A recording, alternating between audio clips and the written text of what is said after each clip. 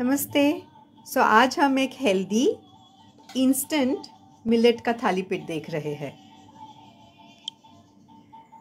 Okay okay, तो हमारे पास में धनिया और मेथी ये थी। ये हमने लिया है। इसमें हम डालेंगे मिलेट का फ्लोर मैं बानयार्ड मिलेट फ्लोर डाल रही हूँ। आप जो चाहे वो डाल सकते हैं। मिलेट फ्लोर के साथ में ये है थोड़ा सा बेसन। एंड ये जो समय है कफ प्रकृति के तो हम लोग थोड़ा सा अदरक का कीस लेंगे। अदरक के कीस के साथ में ही हल्दी।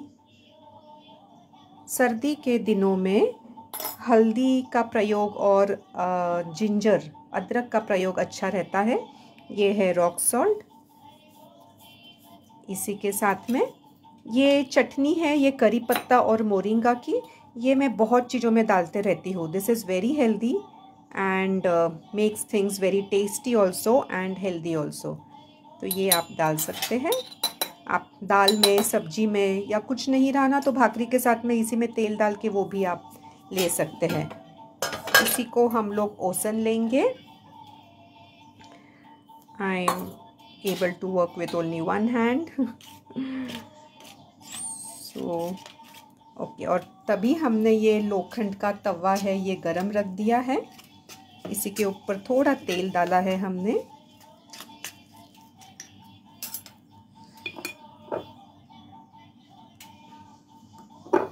गरम कर दिया है एंड इसी के साथ में हम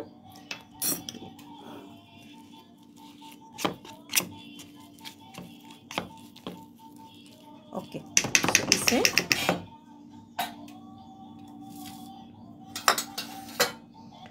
थोड़ा पानी का हाथ लगा लेंगे हम। थोड़ा पतला है तो ये थापने के लिए आसानी रहती है। तवा गरम रहेगा तो वो चिटकेगा नहीं। और इसको थाप दीजिए। पानी का हाथ लेंगे तो वो चिटकेगा नहीं। हम एक साइड में इसको सेकेंगे तो इसके ऊपर हम लिड रख देंगे। फिर एक साइड का होने के बाद लिड निकाल देंगे। और ये हमारा हेल्दी, इंस्टेंट, मिलेट का थाली पीठ तैयार रहेगा।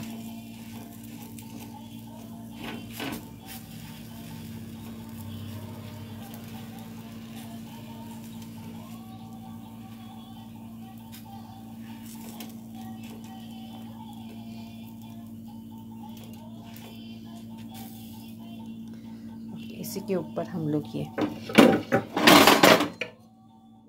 ढक्कन रख देंगे। थोड़ी देर से हम ये पलट लेंगे।